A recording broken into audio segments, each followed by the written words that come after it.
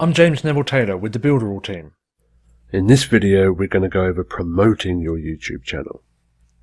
Put in all the time and effort necessary to build your YouTube channel, to upload your videos.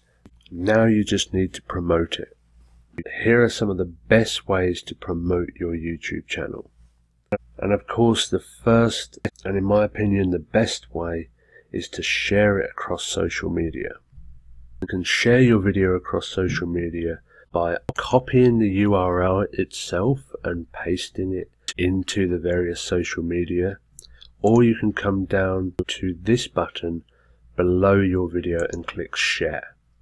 And this is going to bring up all of the major social media networks for you to share on. You can click the social media that you want to share it on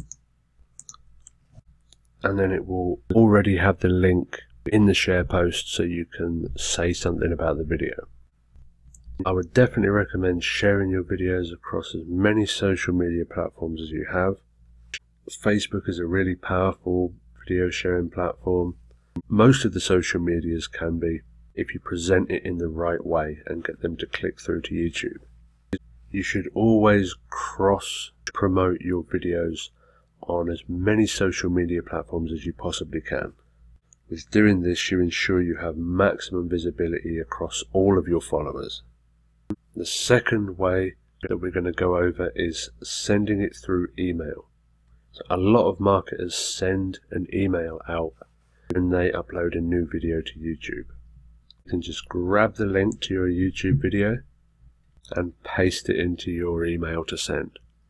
Another good tactic when sending emails is to put a thumbnail image with a clickable play button on the thumbnail image.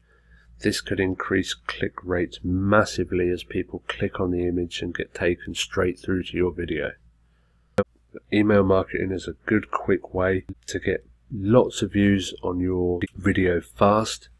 If you have a big subscriber list, make sure to send out an email about any new videos that you have coming out because the faster you get views on your video, the faster Google and YouTube is going to rank that video.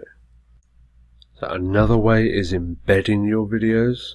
If you embed your videos into your websites and sharing buttons into your websites, it's going to get a lot more coverage and get your content in front of a lot more people.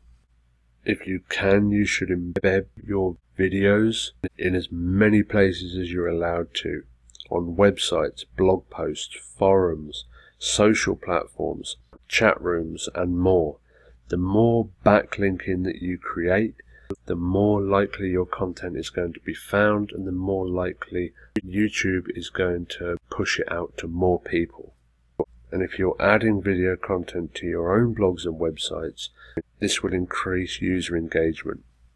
And last but not least is using Google AdWords to share your videos. So you're basically paying to play with Google AdWords. As Google owns YouTube, you can easily grab videos from YouTube to use in Google AdWords campaigns.